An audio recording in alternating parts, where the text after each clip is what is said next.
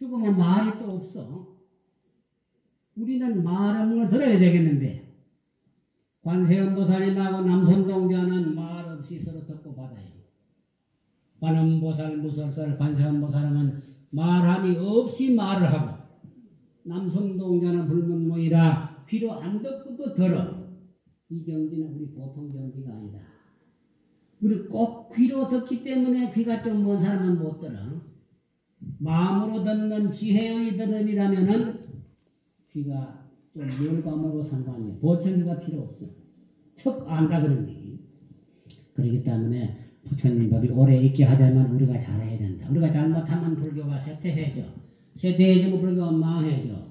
그뭐 경도 없고 뭐 부처님도 없고 뭐, 뭐 우리가 참 불가에 뭐 거룩한 부처님도 없어져. 절도 없어져 버리고 뭐 가르침도 없고 뭐 삼보가 다 없어지려. 삼보가 없으면 뭐 붙잡은 무슨 뭐, 뭐 대대비가 아무것도 없지 뭐 어떻게 뭐 있겠어 그게. 그게는 뭐 중생세계고 혼몽천지다. 이게 불행한 세계다. 부처님의 정법이 오래오래 이 세상에 머물게 하려면 우리가 신행을 잘해야 한다는 거.